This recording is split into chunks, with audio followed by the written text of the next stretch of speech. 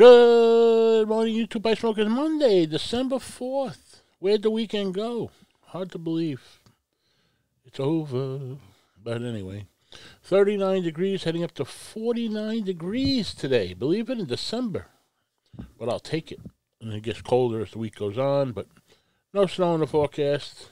Cloudy all week, though, they say, although they're wrong already because the skies are clear. Either I win or I learn.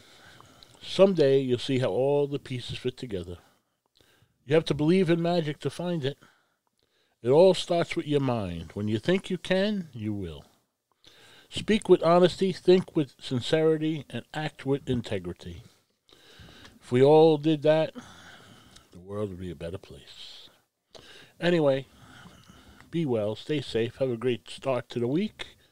It's Monday Morning Blast. Catch you on the next one. Thank you.